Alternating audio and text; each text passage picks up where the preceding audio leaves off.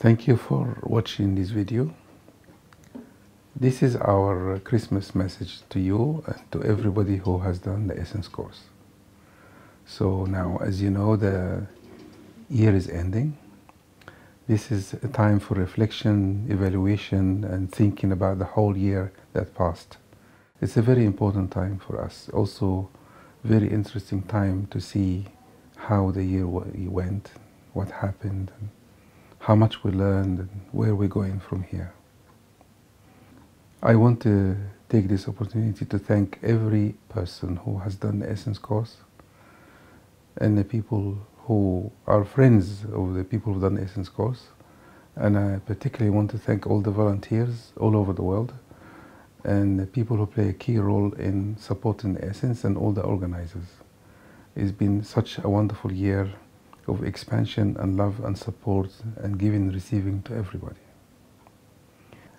I would like you, if you have done the Essence course, to remember the sensitive moments in the seminar when people were sharing or somebody talking to you or doing an exercise with you and you were available for that person and they felt something from you that helped them to heal, to grow, and to feel better.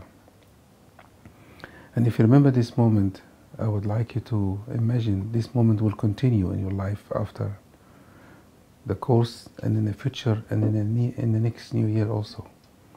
And I hope that you can be a person when somebody comes into your presence, they feel safe and you feel that life has a meaning. And it'd be a wonderful way to show people and us how much we have grown over the years.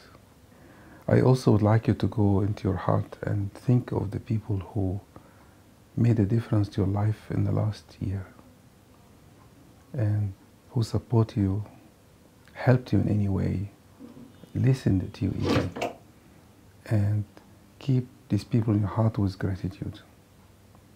That would be wonderful also.